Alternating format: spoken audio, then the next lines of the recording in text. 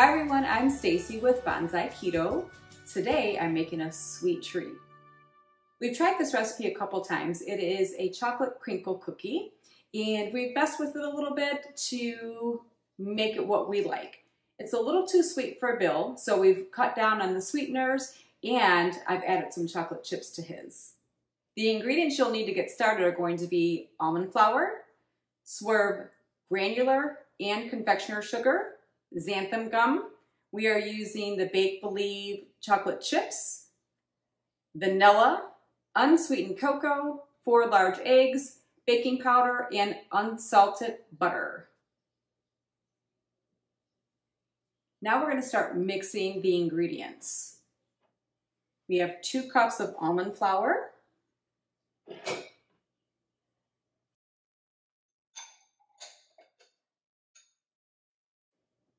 just shy of one and three fourths cup of the Swerve granular sugar. It's actually one entire bag.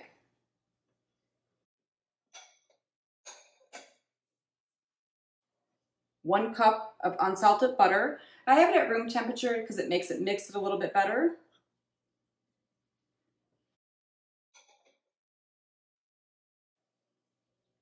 One cup of unsweetened cocoa powder. Don't stand too close when you're pouring it in. The two teaspoons of baking powder. A half a teaspoon of vanilla that smells wonderful.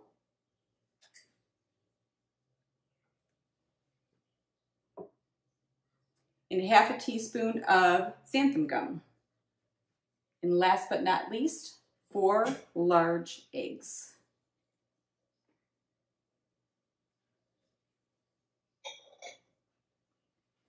Let's get mixing.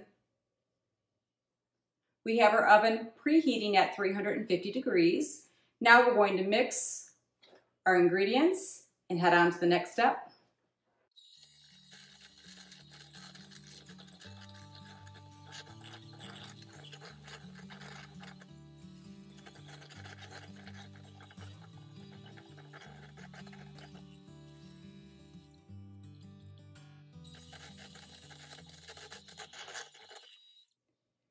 So a few tips on mixing because it's a lot of ingredients that are in there. My butter, as I said earlier, is room temperature. And then I also sliced it into pats to make it a little bit easier to mix evenly throughout the mixture. You'll, you'll definitely see the rising um, of the powder as I was mixing. Just don't get too close because it'll make you sneeze. So back in December 2018, my husband and I started keto. Prior to that, the only baking that I really did was homemade chocolate chip cookies or oatmeal chocolate chip cookies, and I always use my Cuisinart big mixer. When we start doing all these recipes, fathead pizzas, breads, cookies, which are some of my favorites, I needed a mixer that was enough power to get going. So Bill bought me this beautiful orange KitchenAid um, from Amazon. If anybody knows Amazon, if not, talk to my husband. Um, but it's been fantastic. Lots of speeds and super easy to adjust and put away. I took the entire batch and split it in two. This is going to make approximately 24 cookies, so I'm going to do 12 cookies rolled in the confectioner sugar, and I'm going to do the other 12 cookies with chocolate chips in it. So I have my half batch here, and I'm going to make the first 12 cookies. Separating them down like I do helps me get the sizing so that I don't have a few ginormous cookies and then small cookies, then I feel cheated when I have to eat the small one. Your hands are going to get a little bit messy. It's okay. It turns out wonderfully. So you roll it in a ball. Roll it in the sugar. Usually kind of pat it down a little bit. And then place it on.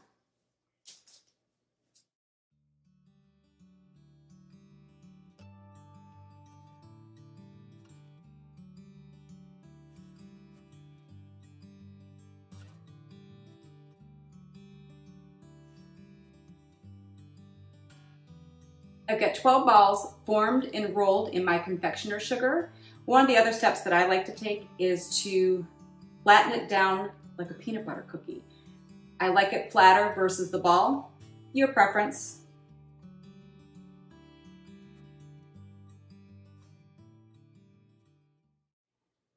We are set and ready to bake our cookies. Again, oven is preheated at 350 degrees, and we're gonna bake these for approximately 15 to 20 minutes, depending on your oven.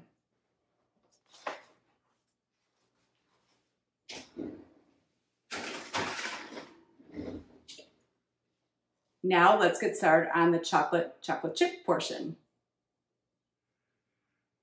Now I bet you thought I forgot about the chocolate chips, but I didn't. We're gonna have about half a cup of chocolate chips. We're gonna mix in to the other half of my batch of dough. Bill doesn't like it mixed with the confectioner sugar. He says it's too sweet. I say it's perfect. So we do chocolate chips for his. I'm gonna mix them up.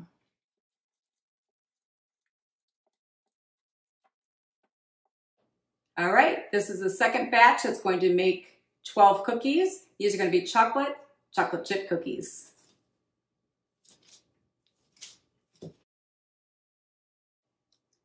And again, I've sectioned these out into four pieces to make it even cookies. And it's just easier for me.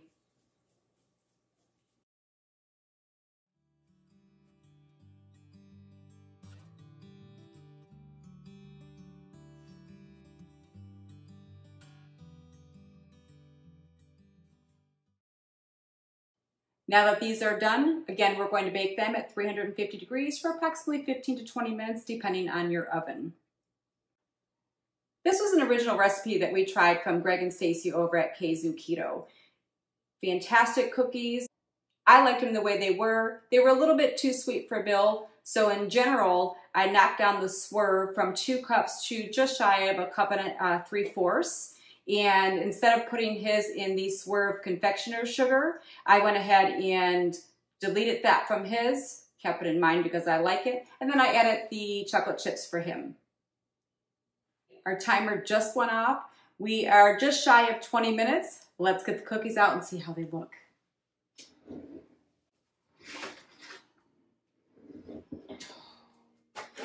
Look wonderful. I'm gonna go ahead and get Bilson.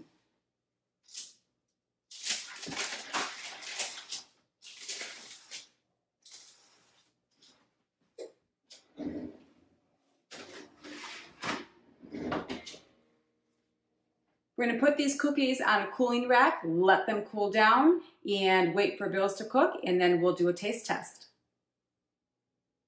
My cookies have been cooling while the others are baking. My timer is just about ready to go off. We're gonna pull those out of the oven right now.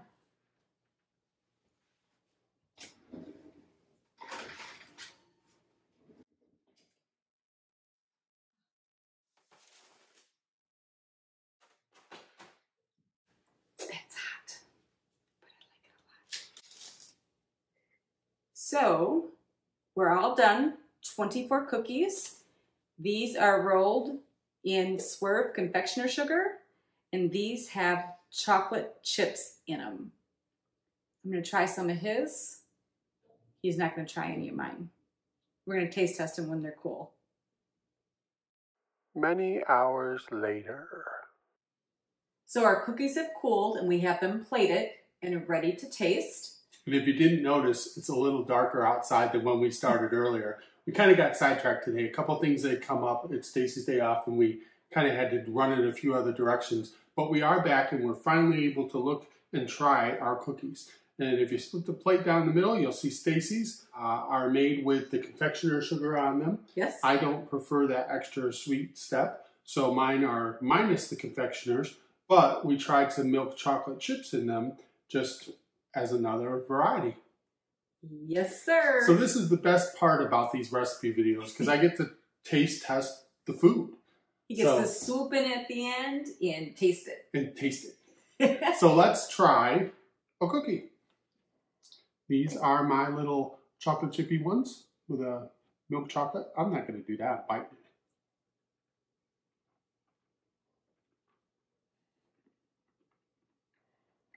That's a good cookie. Mm-hmm. Oh my goodness, that's good. It's so much better when you reduce the swerve, the sweetener. Mm-hmm. See, that's way too sweet for me. I think. Not for me. I mean, I like them. Don't get me wrong. And then the chip just adds a different, makes you almost feel like you're cheating on keto because you get a chocolate chip in there and you're like, ooh. Yeah. It It's a be- nice bite to the cookie. Yeah. It doesn't have like a snap. I think it'd be great with the holidays coming up too. If you were to make this and prepare it and bring it with you, that way you don't blow it for yourself. But you can also introduce some other people that say, "Hey, look, this doesn't even have sugar in it." You know, maybe grandma or grandpa or an aunt or somebody that can't do the sweets. Like Mhm. my grandma and my mom could never do the sweets either. So, Right. so, so bring something like this might actually maybe not turn them on to keto, but be appreciated by somebody who can't have this sweets. I don't know if we didn't tell them it was a keto cookie that they would be able to tell. I don't think so because there's definitely the sweetness and there's the Mhm. richness of the chocolate chip in there. Definitely something that would fill a craving, like for you. Mm-hmm. Uh, these are once in a while cookie for me, but um, Stacy's always got this sweet tooth. So when we sit down and watch TV or something, she always wants something a little sweet. Now, the macros for these and the full ingredient and uh, recipe will be in the description below of this video, as well as on bonsaiketo.com. So you can always check it out there and go back and print it out or refer- reference it Yeah. for your macros and whatnot. But these end up being great. There's 24 cookies in a batch, and like we did, we split these 12 and 12. So she'll have her own little box. I'll have my own little box. We'll see who lasts longer. Mine will last a while. His will last longer. Yeah. They'll probably freeze them and That's exactly. I put two to three in a baggie, and I put them in the freezer because I just wanted to stay fresh. And I only pull them, you know, once every week or two. I'll pull out a bag and eat a little bit. I just nibble, you know, like a little birdie. I nibble. She never knows what I'm going to say, so we don't talk about this stuff. We just kind of do it. So, but that's the fun part. And uh, no, I do like my little cookies that I'll uh, pull one here and there and have a little Right. snack, or I call it a treat. yes. But Stacy really loves her sweets, so to have this for her works good. It does. The only bad thing is I want milk with it. But I'm I'm pretty good. I just actually stick with my water. You could try some Um, almond milk. Yeah, Okay. because I like to guzzle milk. Guzzle.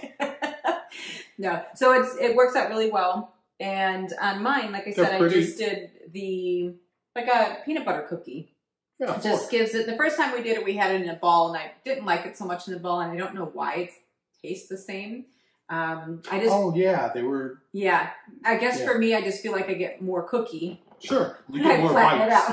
I get more bites. because if you do the the ball, you're gonna go, Exactly. Bite, and then this you're gonna get like four or five or six bites out of it. it's the same amount of cookie, just No, you're right. That's, flattened out, and and it looks pretty that way too. hey, you got to do what you got to do sometimes. Gotta And if this stretches it out, and you could get more cookie for the for the mile, you know that's why you do it.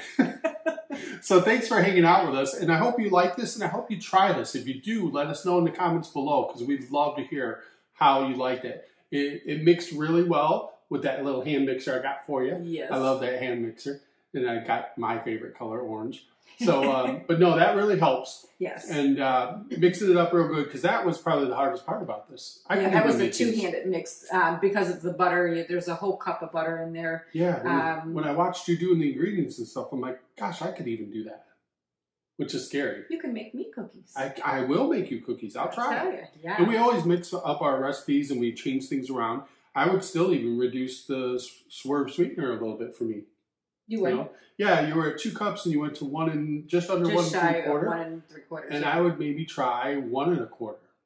That that's just me because I just it's a it's sweet and it tastes good and I like it, but I would like it to be less a little less sweet. sweet. Yeah, Yeah. maybe one and a quarter cup Bill, being a diabetic, has never been really big with the sweets. Never. No. Um, unlike me.